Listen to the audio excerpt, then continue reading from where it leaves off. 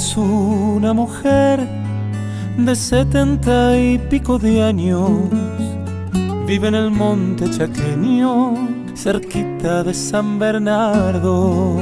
Tiene los ojos azules como el agua de los mares, porque vino de muy lejos y el cielo quedó en su sangre. Hay que entrar por las picadas para llegar a su rancho de barro y apuntalao con quebracho colorado lleno de árboles el patio y herramientas de trabajo. Una volanta, un arao y el paisaje de su chaco, la oma es feliz. Con poco, Digamos que mejor, con nada, la oma era rubia y se ve.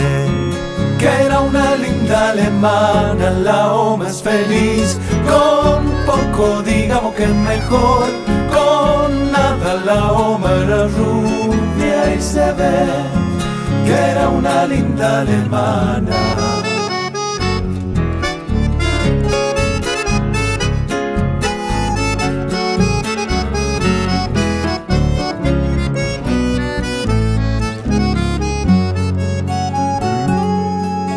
Sola que está la oma, pero ella no piensa en nada. ¿Cómo pensar en la muerte si la oma es como un hada? En un ranchito de paja calienta leña su pava, conversa con un lorito, con el único que habla.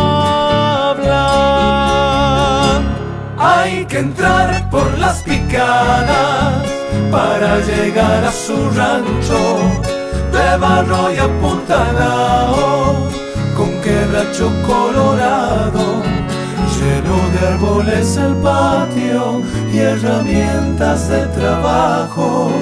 Una volanta, un arao y el paisaje de su chaco, la oma es feliz. Con poco, Digamos que mejor, con nada, la oma era rubia y se ve.